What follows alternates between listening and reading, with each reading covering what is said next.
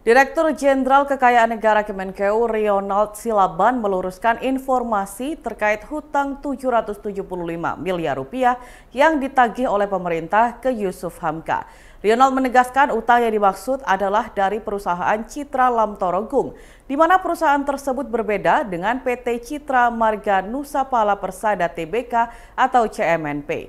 Sehingga dipastikan hutang tersebut bukan milik Yusuf Hamka, melainkan berkaitan dengan perusahaan milik anak Soeharto, Siti Hardianti Rukmana, atau yang akrab disapa Mbak Tutut.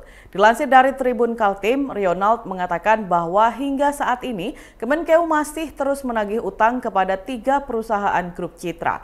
Pihaknya bahkan akan segera memanggil Mbak Tutut. Sementara itu saat ditanya terkait Yusuf Hamka, Ronald sendiri masih enggan untuk menjelaskan lebih rinci.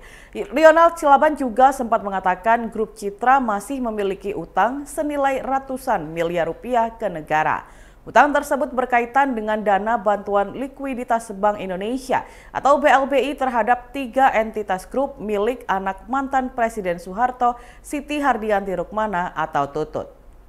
Diketahui sebelumnya, staf khusus Menteri Keuangan Bidang Komunikasi Strategis Justinus Prastowo mengatakan tiga perusahaan yang tergabung dalam PT CMNP milik Yusuf Hamka memiliki utang kepada negara senilai 775 miliar rupiah.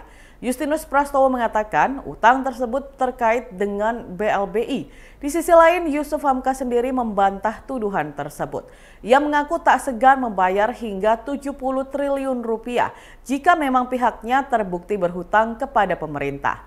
Sebaliknya, apabila tidak terbukti, Yusuf menyebut pemerintah hanya perlu membayarnya satu rupiah saja.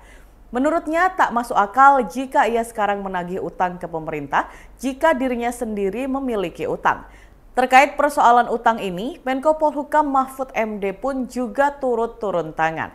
Ia bahkan melakukan pertemuan dengan Yusuf Hamka di kantornya pada Selasa 13 Juni 2023 sore. Mahfud sengaja mengundang Yusuf terkait berita yang simpang siur akan utang yang dimiliki pemerintah terhadap si bos jalan tol tersebut.